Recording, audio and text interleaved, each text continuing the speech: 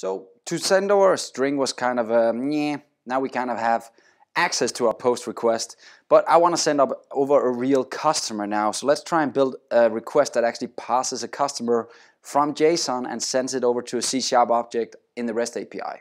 So how do we do that? Well, first of all, we need to go and figure out how we actually make JSON code. So to make JSON, which is, if you go to JSON.org, you can go and read that JavaScript object notation, that's actually what JSON stands for. And as we scroll down, this is how you create an object in JSON. It's very, very basic. Uh, we go in and we start out by putting in a curly bracket to explain now an object will begin. Then we go in and put in a name for some property, and then a colon, and then a value for that property. So think of this, a name value pair is some, sometimes what I call it. Um, it's actually some kind of property that has some kind of value here, right? So that's kind of the goal of of these two guys right here. And then you put a comma and you put in a new one, comma, new property, comma, new property. So if it was a customer, this would be first name, colon, Lars, right? We're going to do that in a second.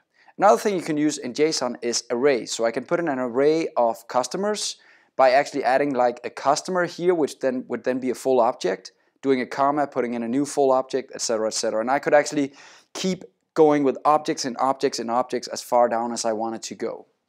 The last thing you need to know for, about JSON before we start writing it is you have these types of information in JSON. You have you can have strings, numbers, objects and arrays. These are the objects and the arrays we just talked about, and then the boolean values and a null value if you want that as well. So sweet, let's try and actually create a JSON object.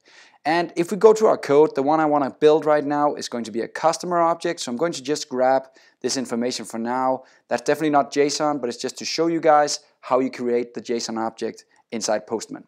So first of all, let me just paste that in that I just wrote.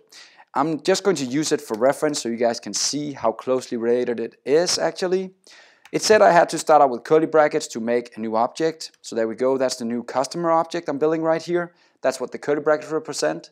Then I need to put in my first property, which is going to be ID, a colon, and then if it's a number, I shouldn't put in quotation marks. So I'll put in one for the ID. I'll do a comma, and again, each property is inside quotation marks. So a new quotation mark, and this time I'm going to talk about the first name, and that's going to be an actual string. So I have to put the first name inside quotation marks, and I'll write Lars. I'll do a comma again, again quotation marks for the last name. It's very simple, right? Colon, and I'll put in Bilde here. So there we go. Now I actually added all the information like the object has down here, and that's actually a JSON object now. It can be a lot more complex than this, but let's just start with this for now. If I do, whoops, if I do a send right now, it wouldn't help me because in the backend we still only know about the, the simple string type. So now we have to go to the backend, the REST API, to our values controller, and we have to change the from body from being a string to actually being a real customer business object.